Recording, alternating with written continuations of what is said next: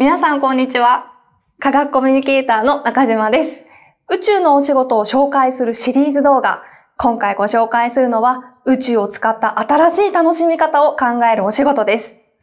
地上の生活を便利にしたり、科学研究をしたりするために宇宙を使うことが多い中で、今回の会社は宇宙とエンターテインメントを掛け合わせた人工流れ星を作るということに取り組んでいます。なんと聞くところによると、その人工流れ星、その他の目的もあるんだとか。早速話を聞いてみましょう。この動画では宇宙の新しい使い方に挑む人たちに突撃。それってどんなお仕事？どんなことを考えてる？地球に暮らす私たちとの関係って？そんなあれこれを聞いてきました。宇宙のお仕事大調査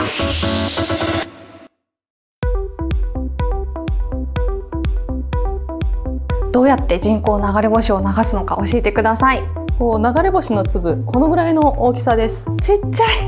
これが人工衛星にたくさん入るんですけれども、はい。それを人工衛星から放出すると大気圏に突入します。で大気圏に突入するときに、えー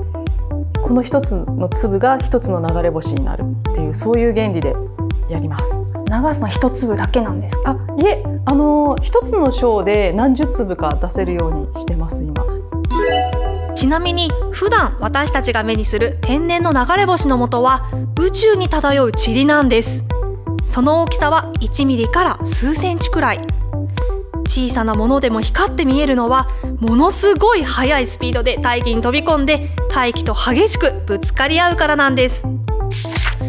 普段見えるような天然の流れ星とか流星群と見え方って同じなんでしょうか？結構違いがわかるかなと思います。はいあので流星群とかでも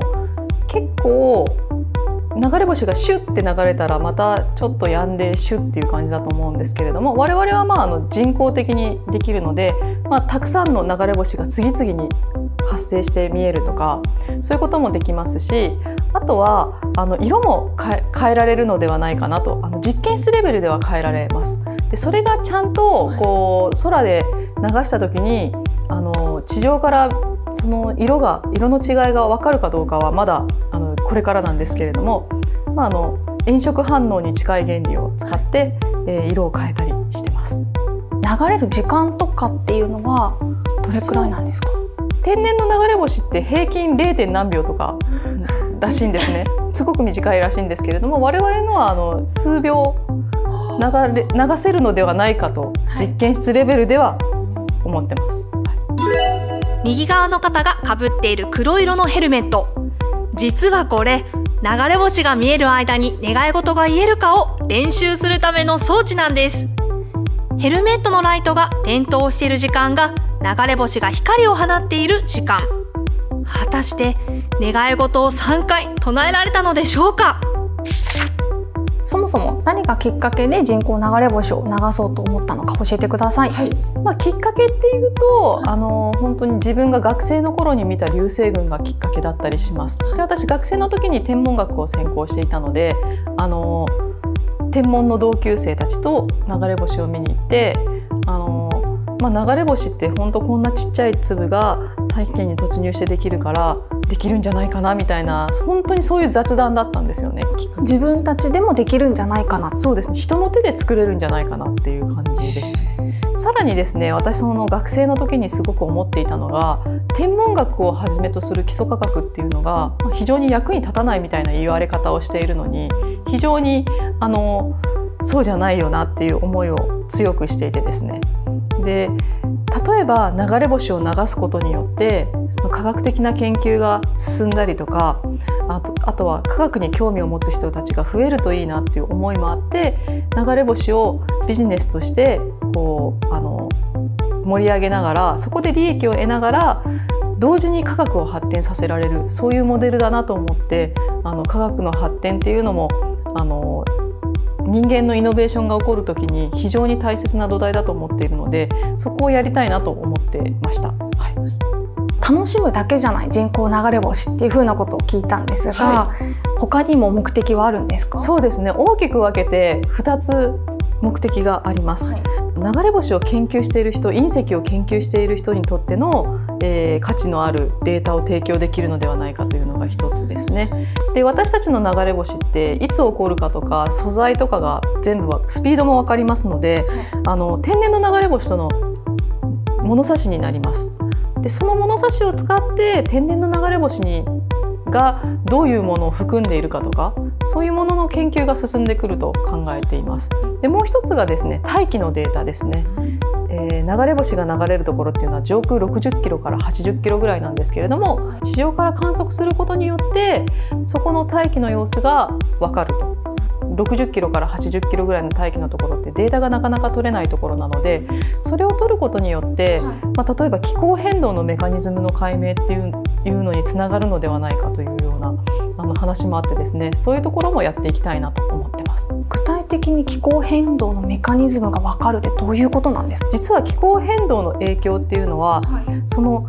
今見えてない上空の方の大気の方が影響を受けやすいという説もあってそうするとここのあの様子が分かると今後何が起こり得るかみたいなことも分かるのではないかみたいなそういうことですね。宇宙はいろんなことができる可能性を秘めた場所だと思ってるんですけどもこれからいろんな人たちが宇宙を使っていけるようにするにはこう気をつけるべきこととかってあったりするんでしょうか？宇宙からの視点ってその地球が実は一つのなんかそれぞれ独立した事象ではなくってさまざまな出来事がもう全てリンクしている一つの大きな形であるみたいなそういう見え方がすると思うんですよ。そこすごい大事だなと思っていてそういった見え方をみんながあの考えつつ科学技術だったりですね社会活動だったり自然だったりっていうののそういう関係性っていうのをちゃんとバランスを考えながらなんか進めていくことが大事なんじゃないかなと思ってます。エンターテインメントと科学研究という2つの側面を持った人工流れ星についてお話を伺ってきたんですがこういった新しいことに挑戦する上でこう大切にしていることとかってあったりしますか？大事にしていることが3つあって好奇心とそれをもとに、えー、いろいろこう事業を進めていったりとか、えー、メンバーと協業してものを作っていったりっていう開拓ですね。開拓するっていうところ。それからあのさらにそれをですねあの大きく発展させて、えー、人類全体が進化していくようなそういうものにつなげていきたいっていう進化っていうこの3つをあの大事にしてます。岡島さんがどんな未来を作っていきたいかを教えてください、はい、科学を社会につなぎ宇宙を文化圏にするという未来です、